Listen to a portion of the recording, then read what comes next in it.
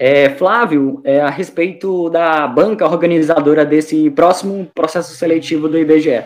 A gente sabe que a comissão organizadora do concurso ainda não foi formada, mas ela está prestes a ser formada. Depois que a comissão for formada, o próximo passo é escolher, é definir qual que vai ser a banca examinadora desse concurso. Tem muita gente dizendo que pode ser a Fundação Getúlio Vargas, a FGV, e outras pessoas dizendo que pode ser a Sebrasp. Na sua opinião, na experiência que você tem no IBGE, qual banca você acredita que possa estar é, tá à frente desse novo processo seletivo do IBGE?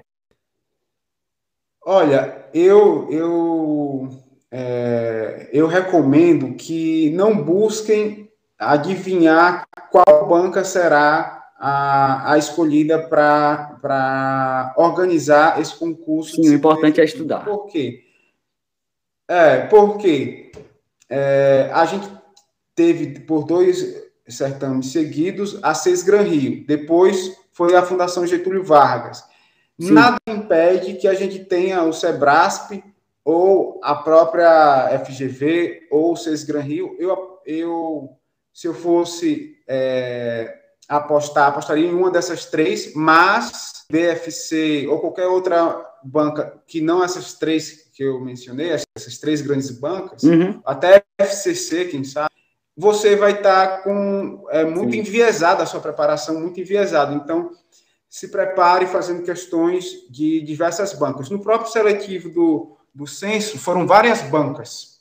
A gente vê também nesses processos seletivos agora de agente censitário de pesquisa e mapeamento, agente de, mape... agente de pesquisa e mapeamento, supervisor de coleta de qualidade, não é só uma banca.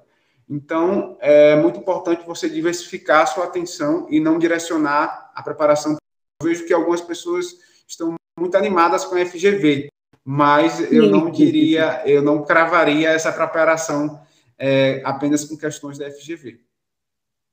Sim. Até porque Beleza. cada banca tem a sua peculiaridade, né, né, Flávio? A FGV Isso. gosta ali de interpretação de texto, a Sebrasp já tem ali é, o método de certo e errado, né, que a questão errada elimina Sim. uma certa, então é, as pessoas não têm que tentar adivinhar, como você disse, qual vai ser a banca, e sim estudar. Sim. É, a gente tem que, que ver também outro ponto importante, que é a questão da de você vai ter tempo para estudar, para se preparar até o acontecimento do concurso, entendeu? Sim.